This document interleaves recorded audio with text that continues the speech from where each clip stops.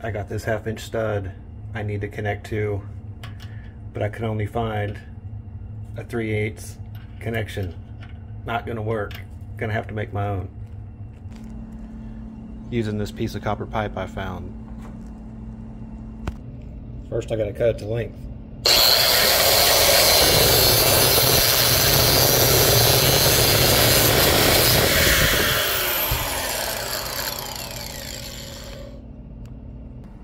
And clean it up a little.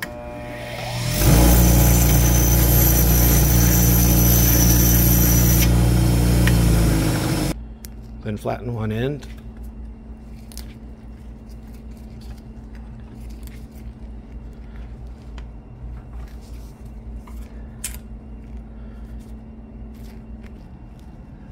Round over the corners.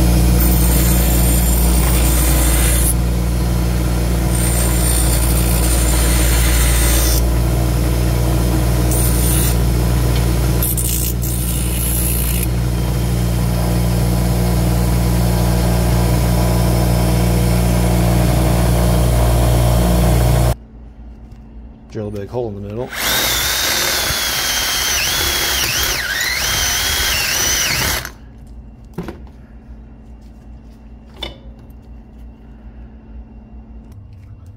Check the fit.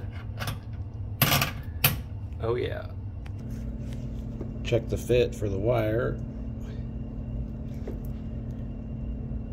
Oh yeah. Crimp it on, add heat shrink.